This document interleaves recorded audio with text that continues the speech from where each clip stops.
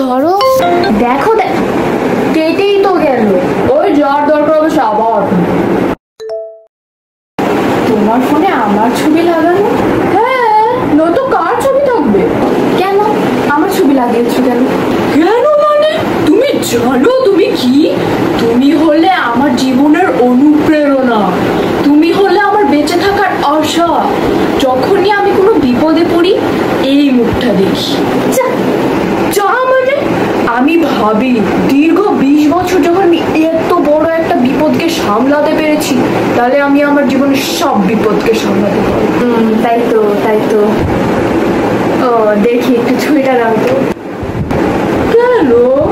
না না না একটু দাও না। আচ্ছা